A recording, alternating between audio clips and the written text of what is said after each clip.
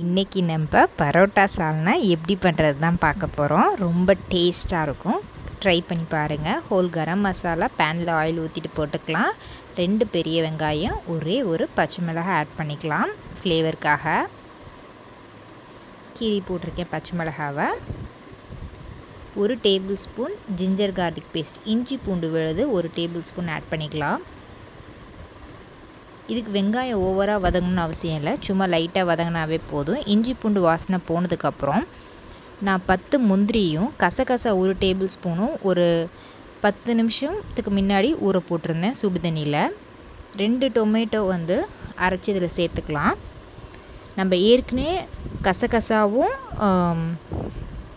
முந்திரி பருப்பு ஊற போட்டதோட ஒரு நாலஞ்சு பெத்த தேங்காய் அதில் ஆட் பண்ணி நல்லா ஃபைன் பேஸ்ட்டாக அரைச்சிக்கலாம்.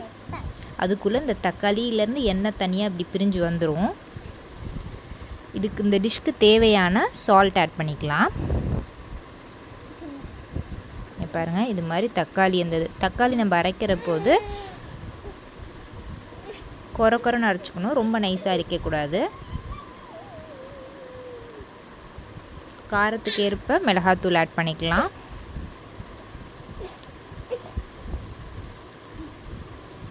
மல்லித்தூள் கரம் மசாலா ஒரு டேபிள் ஸ்பூன் ஆட் பண்ணிக்கலாம். சோம்பு தூள் இருந்தால் போடலாம் இல்லைனா சோம்பு கூட நீங்கள் ஸ்டார்டிங்கே ஆட் பண்ணிக்கலாம். சீரகத்தூள் ஆட் பண்ணிக்கலாம்.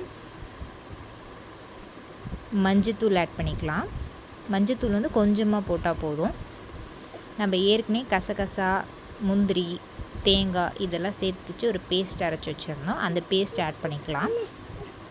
இது மாதிரி எண்ணெய் தனியாக அந்த மசாலாவோட பிரிஞ்சு வந்ததுக்கப்புறம் தான் அந்த பேஸ்ட் ஆட் பண்ணணும். அப்போ தான் அந்த கன்சிஸ்டன்சி நல்லாயிருக்கும். நம்ம திக்காக வேணால் திக்காக வச்சுக்கலாம் லைட்டாக வேணால் லைட்டாக வச்சுக்கலாம். அதுக்கு தகுந்த மாதிரி வாட்டர் லெவல் அட்ஜஸ்ட் பண்ணிக்கோங்க.